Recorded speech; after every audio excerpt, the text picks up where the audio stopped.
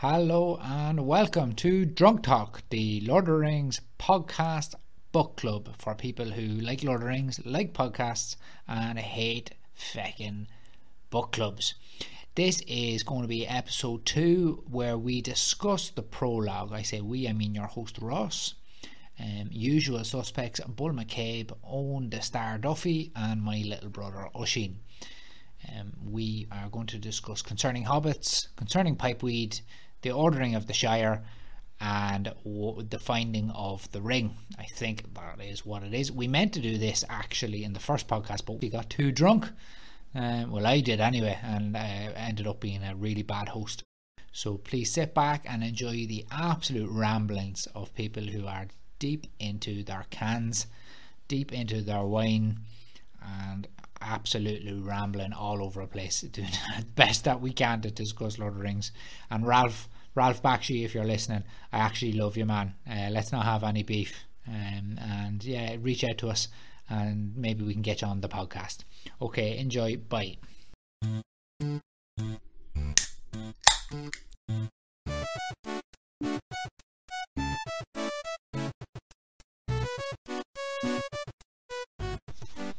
Alright, the boys are lit. The boys are lit. Gondor calls for ale. Welcome back to the second part of Concerning Podcasts. It's the first of many drunk talk podcasts. How are the lads? How he's getting on? Great. Getting on. Yeah, very good, very So good. I, I think since that first uh, segment went so well, we can only enjoy the rest of this podcast now. Put the feet up, like Well, this is it's clearly going to be a success is. after you've listened to that. So Yeah, I'm quitting my job on Monday.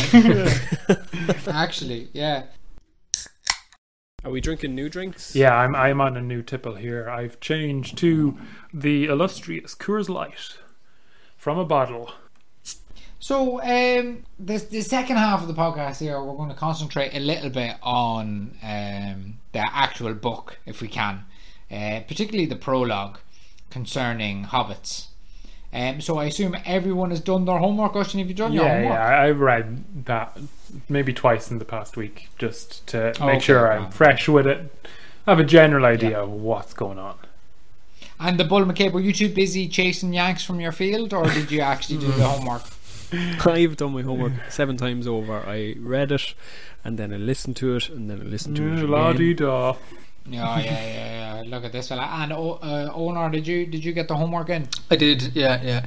Um, so the the first two chapters, well, how would you call them chapters um, of the prologue? I've been listening to um, to audiobooks and I've been reading um, reading all I should be. So yeah, let, let's just fucking chat shit about it now.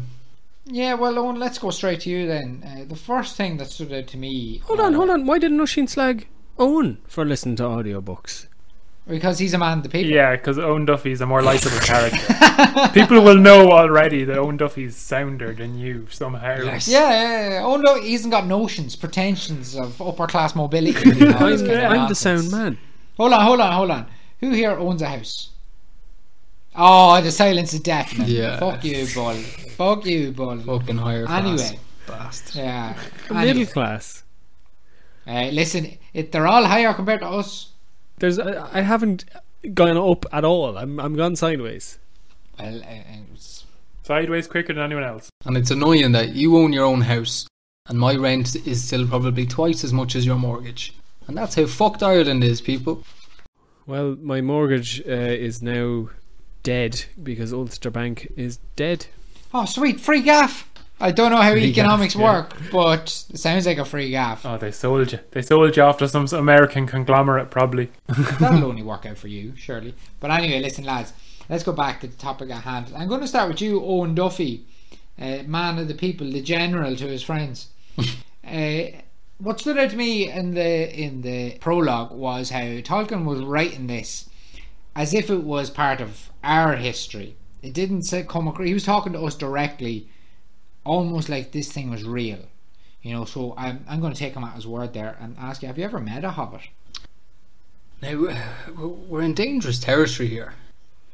This is where I'm at my most comfortable. But, like, Insulting people to their face. His Yeah. speciality. should should should should we dive into this or Oh, dive away. Head first. Dive away. Get get your little chlorine goggles on. What's the little chlorine plug you put all over Yeah. your nose? Uh, you don't want the deep put that on. Get your speedo cap. Dive in. Vaseline yourself. Oh, all lathered and sauce. yeah, but we're, we're talking about, you know. No is an, is an acceptable answer. Yeah. no, well, I haven't, no, but uh, I've, ex- Alright. I've experienced You've, ne- people you've, that are. you've quite never been similar. down the back of the garden thinking one was rushing by and caught a glimpse of You it never in the corner like of a, yeah exactly exactly Oshin. You never seen it like you were looking over a badger set, uh, a badger set, and uh, you know a little, little you know good natured but not necessarily good looking face popped out and then popped back On in. one of your many strolls up the old road for for Well, a- like- an evening stroll. Well, uh, leprechauns are real, first of all. I just want to Let's put put that out. And Here now we're getting to it. Now we're getting they're, to they're, it. they're a cousin of of the uh, the hobbits, I think. And, Okay. Yeah. So You have know- you seen a leprechaun? like uh, leprechauns in in Ireland, they they're quite good at you know n- not wanting to be seen. They're they've magic powers. Ah, yeah, very similar. Lots of Um, gold. Now that- you now you're getting to That's it. the thing about hobbits. Like people say, they're not magical creatures. They just if they don't want to be seen, they won't be because they're like you know very good at hiding and burgling Yeah. and, and that kind of thing. I mean, car- cards on the table here. You know, we're we're all country boys. Maybe maybe Owen, I'd consider you a bit of a townie, and maybe a little bit less of a links to the countryside. But where we grew up, you know, cornfields were like you know hundred meters from the house, and we would go running around in the countryside on train tracks that were disused and this kind of thing. So I feel like you know we're from the country, so we can speak with some kind of authority on all th- all things country, and hobbits and leprechauns. I mean, there's definitely similarities there. You know, what do you think, Oisin? Have you ever met a hobbit? I when I was reading the prologue, I thought how he described them was a bit like how we would describe the Bull McCabe to our listeners. Good natured rather than beautiful. Just you know, You know what, Oisin? You're not wrong. You're not wrong. You know, bright-eyed, red-cheeked. Is that not the is that not the best insult you've ever heard Yeah. in your life? I, for one, am going to take this on. It's like, oh, what what does Owen Duffy look like? Uh, well, he looks good naked.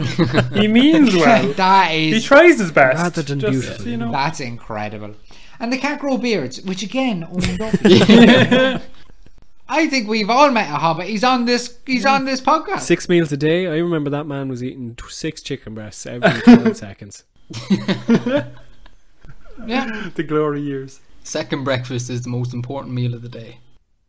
He never gave me presents, though. I mean, hobbits give away presents easily. He never gave me. Only the rich hobbits. That takes us on nicely there. Um, Oisin, can you explain to us what a, what a mathom is? Oh God, yeah. A Mathom in their world, it seems they they have relics that they don't want to throw out. Some of them that looks cool maybe, but they've no use for it, and they don't want to throw it out. I was thinking like, what are Mathoms in everyday life? I've a So it's basically hobbits are all hoarders yeah, it seems to be. and they can't get rid of anything. They don't want to throw it away because they might have a use for it, but probably they have a won't. particular word for something that you hoard, yeah. and it, it's a mathom. Yeah, just museums full of shite. Yeah, I I I was reading it earlier and thinking, what are ours? And the only thing I could find in my house are, you know, like a shopping bag from Tesco. You know, Oh, I literally yes. Bag for life. a cupboard full. I won't get I won't get you Bull do McCabe every talking about cupboards. But you see, you use that, Oshin. I don't know if that counts as a mat. No, no, Because you're using no, it. it's not a mat. It is. They're in the corner. They're in the press. I Oh, never you use have the bag press. and they just keep adding and adding to Oh it. yeah, that the bag press, where you put all the bags. Yeah, yeah, and just We should explain to our international audience what we mean when we say press. Press the cupboard. Yeah. no, don't get Bull back on about cupboards. Well, don't get them Oh. started about hot presses. Jeez, there's a whole nother I podcast. yeah. So, uh, Owen, what, what's your mathom? I'm I, I would say my what was it? A Mathom, right? Madam. Um, so I was in I was in first class, right? And the school was doing uh, a raffle, and in A what? a raffle, Like a, everyone picks a ticket? yeah, everyone gets a ticket. I don't know if, if we paid for this ticket or they just gave them out, right? But I was uh, what what would you be in first class? Six six years old. I was five years old Yeah, because yeah I know, Bull was eight, in fairness, but yeah. And in 1996, Meath won the All Ireland, and I won a ball uh, an O'Neill's ball signed by the entire Meath team of 1996 that won the All Ireland. Now, No way. yeah, so on- Wait, you're talking. You're talking Tommy Oh, Dowd. Tommy. Trevor Giles. they were there. The, the, a few of them were there signing it while I was there as well. So Titans among men. I was a part of history, right? Um, Unbelievable. I'm jealous. Unbelievable. That's not. I suppose that is. But- it is it's- useless. yeah. For, for how many years now? For 15 or 16 years, or however many years it is, it's been sitting in my house. I haven't touched it, but I'm not, never going to get rid of it. So, Oh, I love sport momentums, though. I mean, wow. I don't have any of them, but I like their idea. I don't have any here. I don't have any. What? And so that that is a so good is one. that is that a, a modem? Uh, something I don't use, but I'll never throw. I mean, away. I think Yeah, it you is. don't- Isn't Yeah, it? maybe Oisin, it's- you're the yeah. you're the expert on this. You're not using it, but you're never going to get rid of it. yeah. So that's mine. Okay, right. Very good. Very good. It's certainly better than Oisin's, Yeah, which was just crap answer. You know, even though he brought it up. Uh, what about you, um, uh, the Bull McCabe? My madams are cardboard boxes that we get in from the post. You know, you you get something from Amazon, Oh, you get something from the shop. I keep the box. You never know when you might need that box. Keep the box in the shed. My recycle shed's it. full of boxes. Oh, Just yeah, recycle yeah. it, Paul. I know what you mean. I'm sure Ross has a better answer than that because that was as depressing as mine. So what's yours, Ross? My madam, uh, well, listen, Owen, it's it's lockdown here in Ireland, and it has been for eleven months, almost a year at this stage. So I'm genuinely thinking, you know, the the the madams that I have are my trousers. I Never I wear work, them. I work remotely. I'm on Zoom every day. I can't remember the last time I had to wear a pair of suit pants. Yeah. So I mean, it's coming to that stage where maybe maybe the madams in my house are something I'll never throw away in case I have to go outside, which I know I never will. Mm-hmm. That's it. It's a pair, a pair of fucking trousers, There you go. really more more than anything else. Other than that, maybe I don't know. I have a lot of video game consoles, and I have the same game on several of them. Like, for example, I have a, I have a Super Nintendo. And then a Switch, which has all them Super Nintendo hmm. games anyway. You- You're definitely a hoarder of consoles, though. I I don't think I've ever met anyone that has more consoles than you and games. I told you, I don't, I don't have many friends. Yeah. It's, it's just, I just like playing the video. It's the same with DVDs now. You've all these DVDs on your shelf, but you'll just end up watching that film on Netflix or Amazon. But you never know when the internet might die. You never know. You never know. You never if know. the internet dies, I'm more worried than if my DVD player stops working. Like, Yeah, you don't have to worry, Oisin, because if the internet dies, you just come round to my house. I think keeping the If old we're consoles is important too because like that shit is like analog. You know, that shit will run with a, on a toaster. you know, it doesn't need the fucking smart TV. you'd be there You, know, to you pull that cycling out. a bike. It's classic. That shit lasts. Mm. You know, if it's good, it's good forever. yeah, I know exactly what you mean. It's also like gold, like it just gets way more expensive over time. So you're on a huge investment already. Yeah. You know, I have a 1997 Nintendo 64. You know, beat that. yeah. Can't beat that. Middle class. Yeah, you're working class, you're working class. I can't beat that. Uh, There he goes, rubbing his affluence in our faces High again. class. what a scumbag. St Mary's Park, Highborn. St Mary's Park, and him across the road in fucking Gloucester Park, like. I, I did live in Clucker Park. You take that back.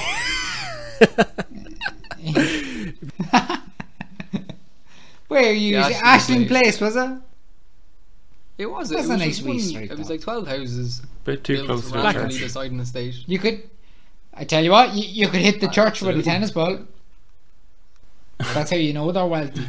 Getting that church money. Proper And townies. we used to rob proper Willie townies. Fagan's blind. that shop was robbed blind. Ah, So yeah, if- sticky fingers. if, if Willie's Sticky if Willie's fingers. watching him, I'm very sorry, Willie. Well, that's actually a good question, Owen. Do you think that the hobbits had shops? Oh, that's a, a very Or good more question. markets or something? Like? Like in the prologue, he talks about someone building a workshop, like a shed. Yeah. That sounds like that's just what that person does. I imagine like one person does the flour, one person does the rope, one person does the milk. Rather What than a if shop. two people do them? But if you sell beer from a brewery, does that make you a shop?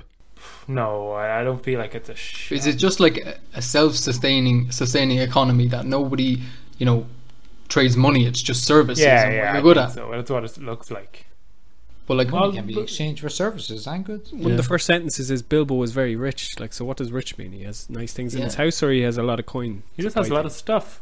yeah. You could It's like trade. treasure, isn't it? A little treasure. He owns his own house. He's middle class. more Madams than anyone else. Yeah. Or Mad- he's he's Madams out the wazoo. Madams out the wazoo. Madam Madams is a fun. It's a fun word to say. Madam. Madam. It's a fun word, and that got me thinking about like uh, they explain a little bit where, because I think we covered it a little bit earlier on, where Tolkien was clearly insane, and uh, the hobbits actually didn't speak English or the common speech. They spoke their own thing, and he translated it in his own little mad head into English, but some words didn't translate, like the word madam. And because they had a particular word in the Hobbit language, lads, I'm going too deep here. what I meant to say is, I found another word that stood out to me in the uh, in the prologue, and it's my new favorite number. Go for it. I think it might even be overshooting the prologue here, but it ties in nicely with the prologue about how madams is a mad word. And my new favourite number is the number 144. And it's because the hobbits have a word for this number. 12 by 12. Yeah, it's a it's a it's a gross. A gross. Still- What is Yeah. this? Why why do they have words? A dozen like- dozen. It's kind of remind. No, it, it, it's a is it a dozen dozen? is that what it, yeah. 144? 12 by 12. Is it a gross or a dose? I think it's a gross. Yeah, it's a gross and you're a dose. you are a dose, huh? She's very good. And it do you know what? It reminded me of your man, Mongon, who said that in Irish there's 40 words for fields. So, what I was going to say is, lads, what do you reckon the Hob- How many words for ale do you reckon the hobbits have? At least one. Probably a few. Like, if you walk into a hobbit pub, do you just say, just give me the, just give me an ale? Maybe. What about drought? Draft. Drought. Draft. That's the word. Forgot how to speak. Here, actually, why do hobbits have pubs but not shops? That's a good question. Maybe they do have shops and we're too stupid to know. Did they have actual money or was it just gold that they just like? Because Bilbo came back from the whole adventure he, he went on in The Hobbit and came back with a chest of gold. Like, did he start their economy from that, or like? He didn't though. He did come back. He with did it. come did- back he with some did. stuff. No, he came back smelled with like stuff, troll. but he didn't come back with trunks of gold. I thought uh, the gaffer a talked trunk about of that. gold. He came back He with one chest of gold, yeah. He did. He definitely had at least a trunk or two. Oh. Yeah, and it smelled like troll. From the trolls, wasn't it? Yeah. They buried it before they went on their adventure. But yeah, I, that's an interesting question on did they have a money system? Like if you walk into the pub, right, and you are a thatcher, right, and your job is putting thatch on houses or whatever the Yeah. fuck. You're hardly going to tell that guy, here, give me two pints there and I'll fix your roof next week. Yeah, it's, there's two pints of meat there. Oh no, no, I'll give you, I'll give you three pints of meat there, and no more. Oh, okay, yeah. But uh, Like, yeah, how does that work? even even in the uh, in the books, like they talk about there was only a, a few. There, there was no government or anything like that. There was only a few positions that they held, and then the rest was just people that had their own kind of skills that they that did. What was it? There was a mayor who only was about during like festivals and Ceremonial, um, yeah, ceremonies and stuff like that. And then there was sheriffs. Cut the cake. Here, you, now this is now we're getting proper into it. We're getting proper into the Shire here now. This is the ordering of the Shire, and uh, you know, let let's just get straight into it, lads. What the fuck is going on? like, do they do they have doctors? Like, like who's in charge? Like, wh- what happens if you break your foot? What do you do if you're a hobbit? They just leave you to die with the foxes. Yeah. Yep, you're thrown out. You, you gotta remember, a fox is like making icon. It's like up. It's as big as like a dire. wolf. Yeah, Yeah, to probably them, bigger. You know what I mean? Like the wildlife, like a squirrel is the size of an Alsatian. Yeah. So the the the average size of a hobbit was what? f- Was it three feet? and a bit foot, maybe three and It's a half. between two and four. Two, yeah, two and four. They could comfortably ride on the back of a fox. So. The tallest hobbit was four and a half, and he could ride a horse. Yeah. Bullroarer. A legendary type figure, which makes me think he wasn't real. Probably not. Pipe dream. I mean, who's the most, the most, the tallest Irishman of all time is Cú Chulainn, and he definitely didn't exist. Yeah, yeah, true. I think my mother could be like a like remnants of a hobbit. Like she's about four foot six. She could be your man's daughter. She could be. My, yeah, my wifey's Half. very short as well, actually. Very short. Your wifey. Wifey, yeah. oh, It's trying to be nice. Trying to Uh, we getting all. be She's not your wifey yet. She gonna be It's just a asking now. Americans use, lads. I'm trying to be international. Well, while while we're on the subject of rings, maybe you know you should buy Nah, it. stop that now. Do you know what? I was reading that bit about the the positions in the in the Shire, and I read a bit about the bouncer, and I just thought that was class. Like immediately, I thought of Deggy. Now Deggy isn't in the podcast just yet, but Deggy would 100% have been a bouncer.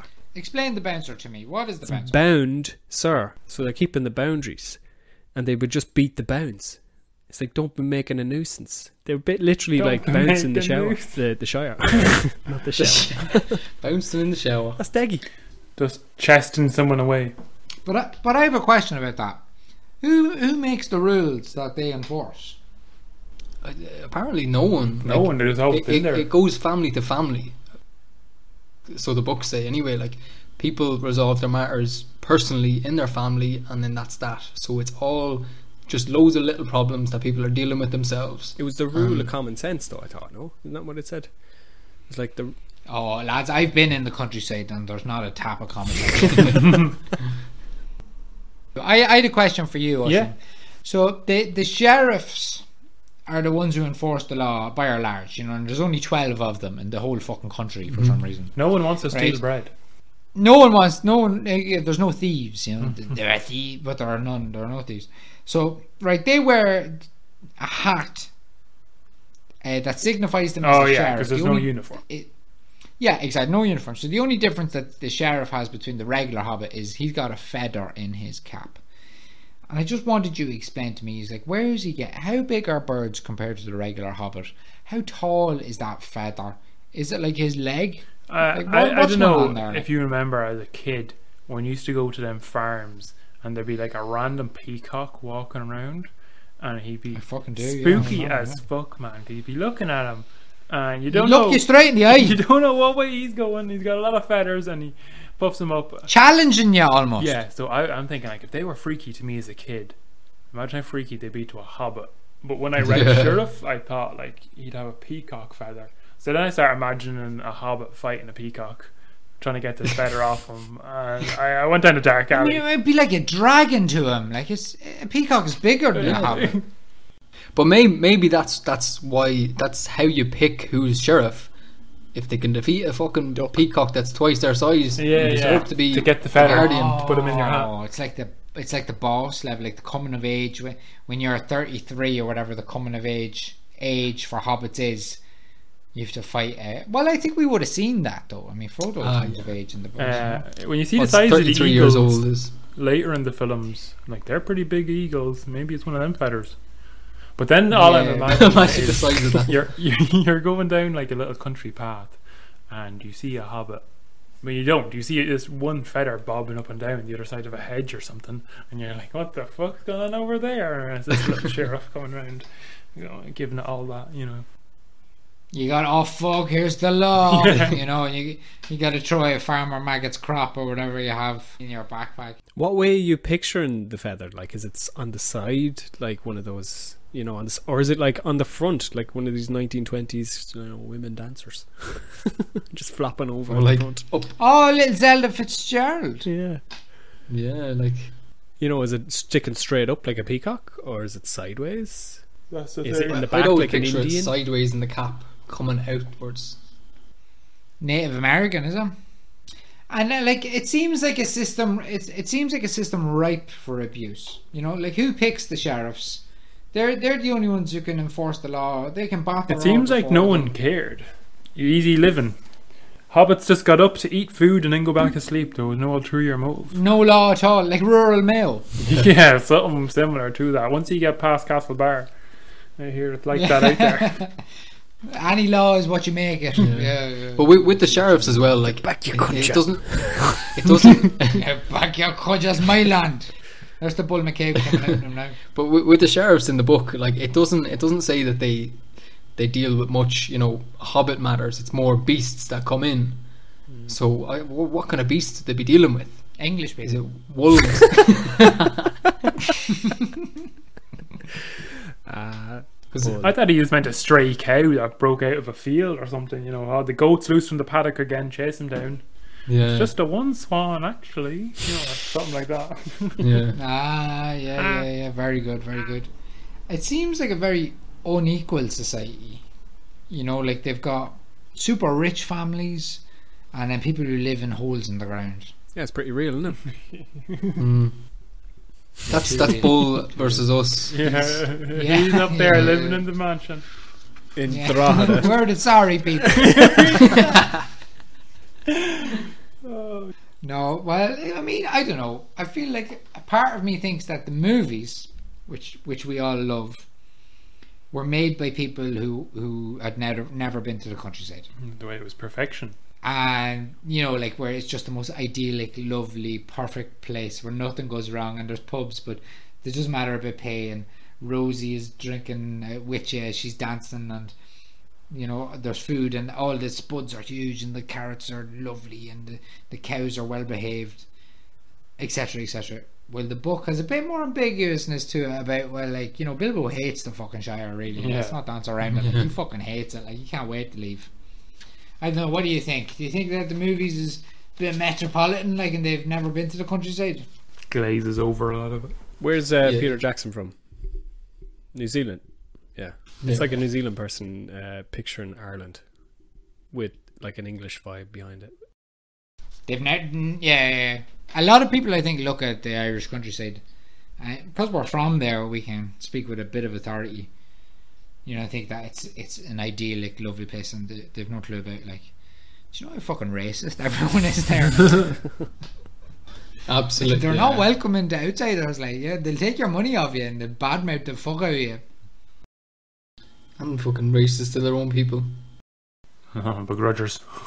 No, how? Do, who's this outsider coming in buying houses? Blow-ins, fucking blow-ins. And in fairness, Bilbo got a bit of that. The gossip.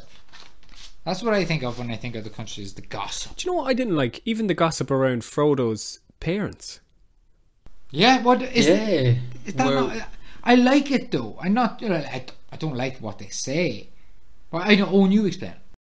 Well, uh, as far as I know, they drowned, but some say they were drowned. If that makes sense. Well, What is some say that he, they fell in because Drogo, Frodo's father, wa, was too fat and he, he knocked the boat over because he was too heavy. Capsized. and then some say she he was pushed and then he pulled her in with him. Why were they on a boat? That's cruel. That's But like that's just gossip. What if they just drowned by accident? See, you wouldn't get that in the movies. No, they No. didn't touch on that in the movies at all. No, no, they just made the Shire the most amazing, beautiful place. Just, just amazing. And la- listen, I think we we've gone through a lot of the prologue right now, and I think just before we finish, let's just kind of close off maybe the last two parts of the prologue because we touched on the ordering the Shire there, and I think we covered that fairly well. And you know, and it, it's just a, an idyllic version of Ireland without someone ever having been there and hated it as much as we do. So let's talk very quickly about my least favorite thing about this book. Uh, my least favorite thing about my homework, which is concerning pipeweed. Full disclosure: I quit smoking four weeks ago. I'm struggling with it, so it's not my favorite page and a half. Uh, do you want to talk us through pipeweed? Uh, talk you through? No, but give you my thoughts. What the when fuck I are we was- doing? Like, when I was reading it, uh, I just thought straight away that Toby Hornblower, he lived in his parents' basement. He is the man who first off started smoking. He lived in a basement somewhere.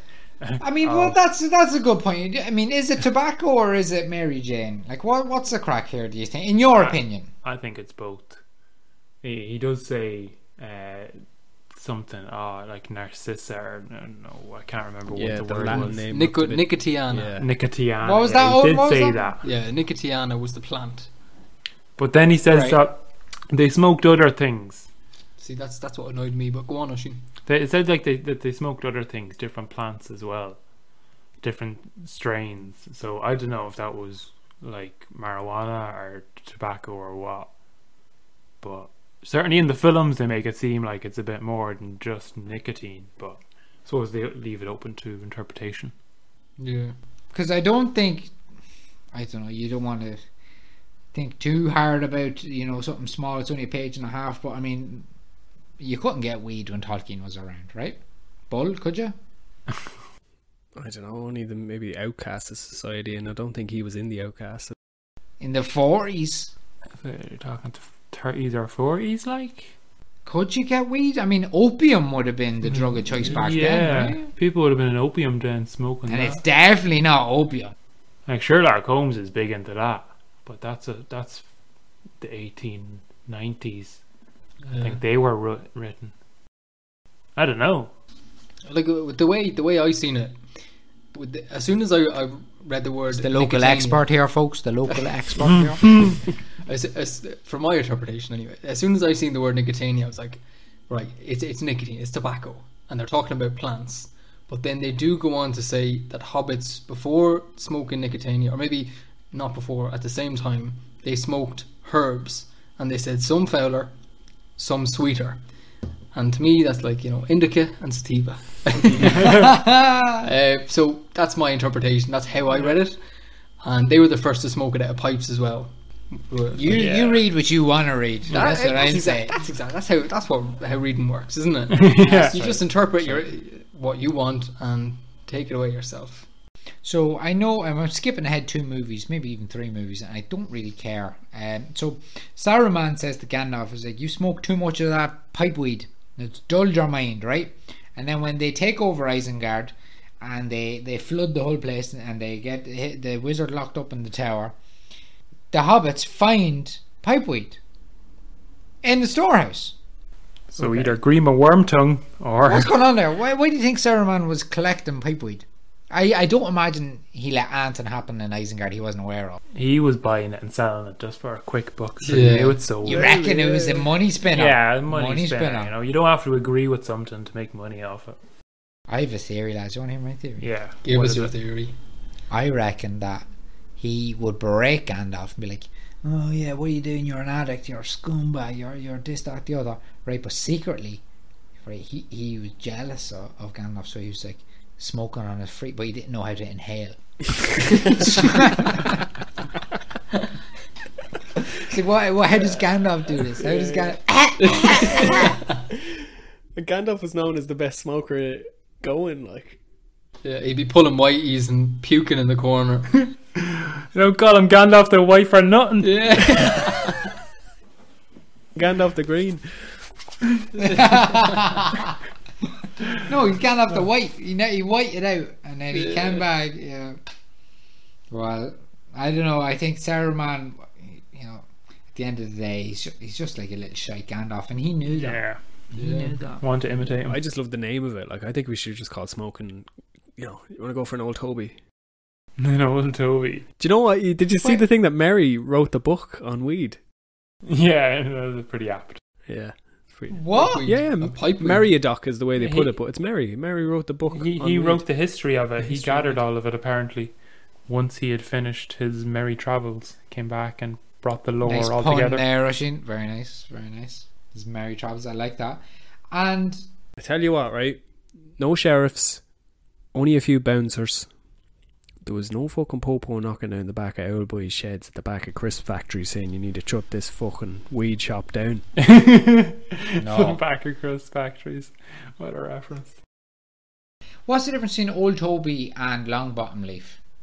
Just a different strain, I think. They're they're all different ones. Pineapple Express, is it? Yeah, something like that. Tastes like a long bottom. So it is. It's not the same thing, no. Old Toby is the man that grew them. All right. Oh, here's the expert now. Tobold Hornblower of Longbottom. Right? That was his name. Oh my. Longbottom was the area he grew it in, so that's Oh why God. it's Oh my Longbottom God. Leaf is one name for it. Old Toby is the other name for it, and then there's a couple a couple more. Give us a bit of Neville there, you know yourself. Fucking, it sounds like fucking Owen Duffy wrote the book. Yeah. This is a chapter I, I read a couple of times. but yeah. Secretly called Meriadoc. What an what an what an expert. La- ladies and gentlemen, Owen Duffy, local tobacco expert. Mary Duffy over here. But we, Marietta It says- Brandybuck Duffy. I still I still don't want it to be just tobacco. I'll just say that. And if it is, I'm disappointed in you, J.R.R. Tolkien. It sounds like it takes too much of an effect to be tobacco. Yeah. How amazing that the the champion of the light, Gandalf, the Saur, the Sauron, never mind the Sauron, the Sauron of the good and the free men of the west, was an absolute stoner. it's unreal. It's unreal. Like, No wonder he's always late. Absolutely. Ah, he's, His excuse was a wizard is never Yeah. late. He's only arrives When he when he, wants means to. That's just. Well, there's, only, there's only Yeah, one part of the uh, there's only one part of the prologue that we haven't touched on, and we may as well finish that now before we get into the book proper um, in the next podcast, of course, and that is of the finding of the ring, which is essentially the story of the Hobbit. So I've only got one note written down here um, from the the prologue that I read earlier on today. So of the finding of the ring, semicolon. Hobbit movies wank. What's going on? Question mark? Yeah, what was that all about? Why are they such wank? Just an money making, atrocious isn't it? piece They of just money making. Yeah. yeah. They saw Harry Potter make it into fucking seven and a half movies, and they said, "I want that dollar." Mm. But I mean, like they Cha-ching. they made the Lord of the Rings to make money too, right? But they were still awesome movies, so that's not a good enough answer. I think it, Hobbit movies came out after Marvel had started. I'd say after that whole explosion of superheroes and bad guys in CGI. So Yeah. they just went down that route. CGI was much more used, and they Like they actually look worse than Lord of the Rings. oh, 100 They do. percent. I agree. Yeah, Like the Lord of the Rings movies will last forever because, like you said, they they Yeah. use makeup. And when you Mm. see an orc, you see like the blisters on his head. Like you know Yeah. that fella who spits on the rock. Like he's got a pure tumor hanging off his cheek. I love that Yeah. fella with half Oh a yeah, head. yeah, yeah, your man who's the age of the Yeah. human. Yeah, power, I love Yeah, him. fella. Yeah. Well, you can say what you want about Orc Society, but they don't take being a burn victim into the interview process. You know, like I mean, it's obviously a meritocracy. No discrimination there. No, hundred at all. percent. They're very woke.